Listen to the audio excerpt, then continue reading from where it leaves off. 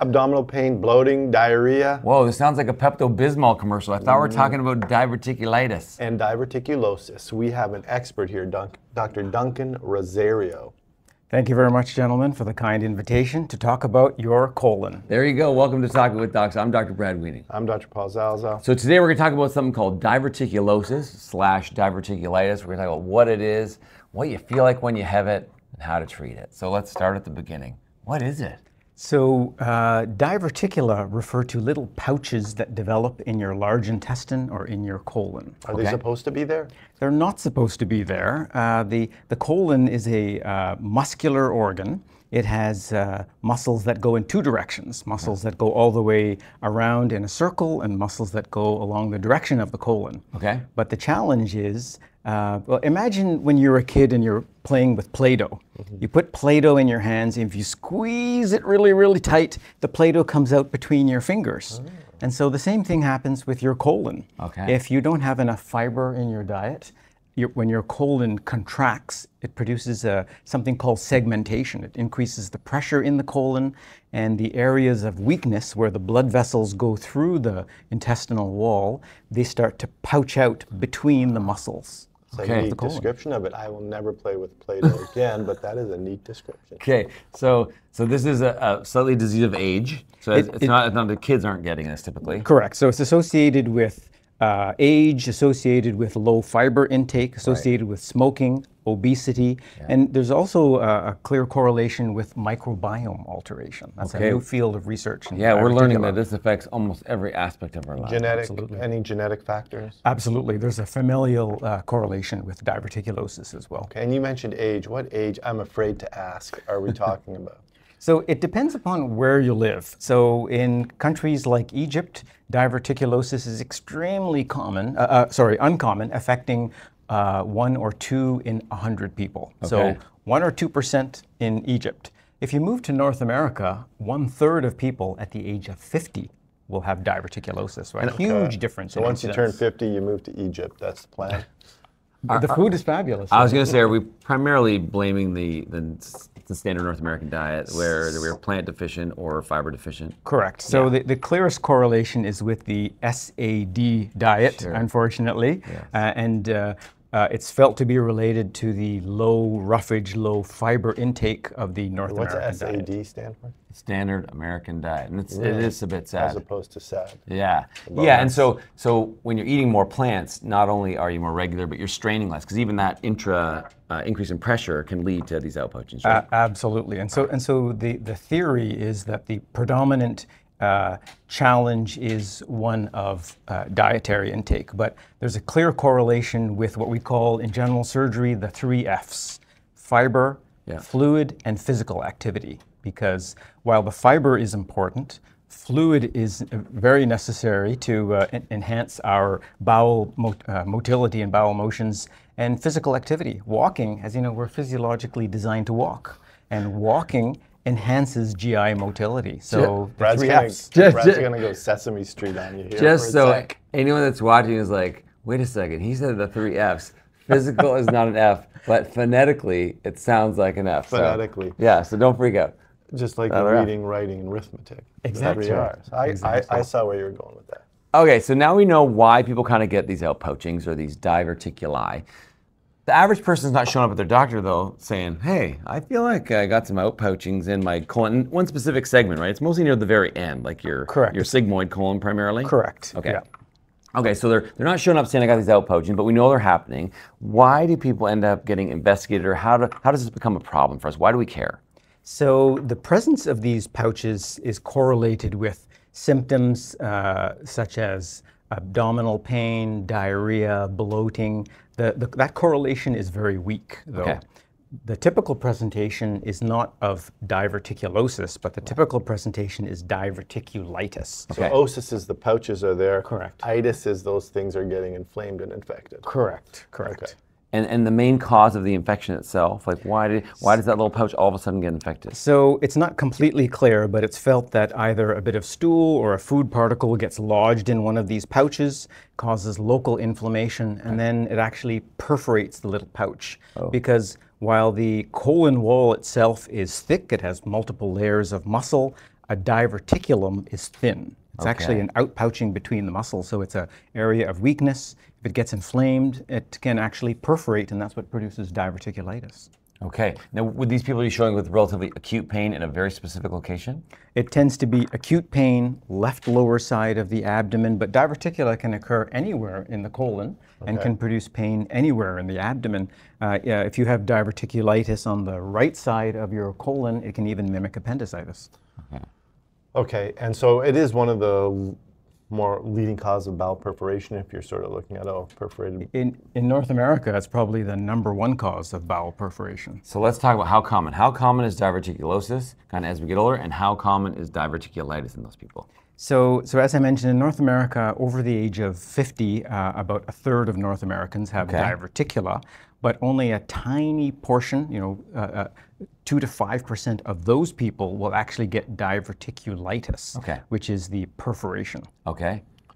That's pretty common. Yeah. I It would is, you know I unfortunately. mean? And Right. so you can, if you have diverticulosis, y- you can avoid the diverticulitis with the high fiber diet, the healthy diet. So, so that helps. The challenge is once you have the diverticula, they're not going away. Uh, the only way to get rid of diverticula is with a, a bowel resection, which is not an appropriate treatment for diverticulosis. Okay. Sometimes it's needed for diverticulitis, though. Okay, so so now you know you got the diverticulosis. You got the symptoms of diverticulitis. You see your doctor. The physical exam confirms that part, and you're like, well, still could be a bunch of other things. Are there any tests that we can order, or you can order when you see it referred? Say, hey, can you come see this person? What tests are going to be done to rule in or rule out that diagnosis? So, after a physical examination, there are some standard lab investigations that we do. We typically see patients with diverticulitis in the emergency department, and so we do a complete blood count, and we would typically see an elevation of patient white blood cells. Yep. And the typical test that we do to confirm the diagnosis is an x ray called a CAT scan,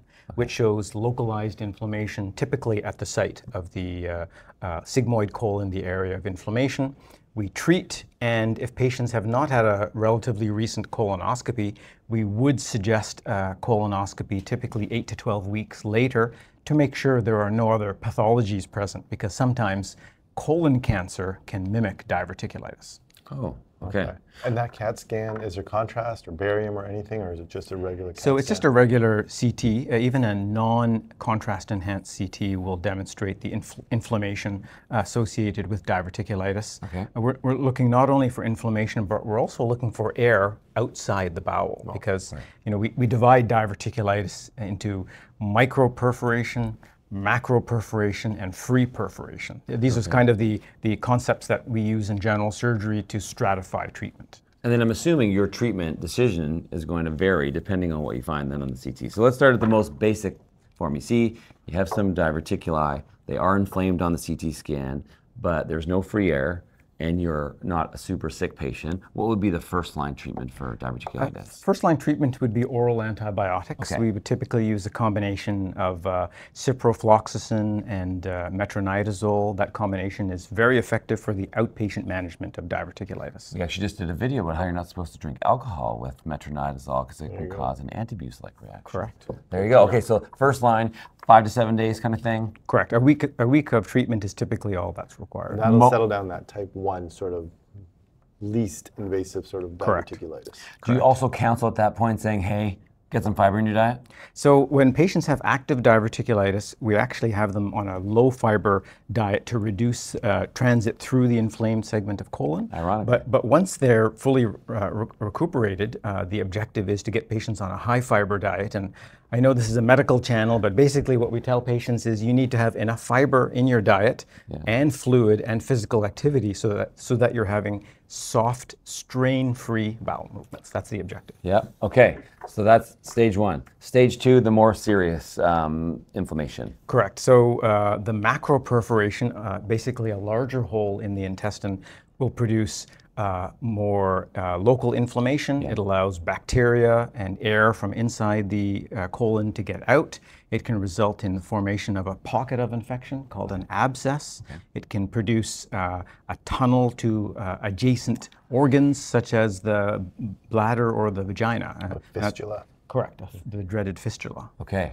And so these people are getting intravenous antibiotics and an operation always, or not So necessarily? uh, much of the time, those patients would be getting intravenous antibiotics and sometimes drainage. Okay. So our uh, expert physicians in the uh, in interventional radiology department uh, can put a tube or a catheter into a pocket of infection, and, and we usually use uh, size as the criteria. If the abscess seen on CAT scan is small, three or four centimeters, IV antibiotics are generally effective. If the abscess is more than four centimeters, we would typically ask our IR doctors to put a tube or a catheter in to drain that collection of infection. Now, our viewers are really smart. They're going to say, well, there's a hole there and stool's leaking into my abdomen where it's not supposed to be. Isn't it just going to keep being a problem?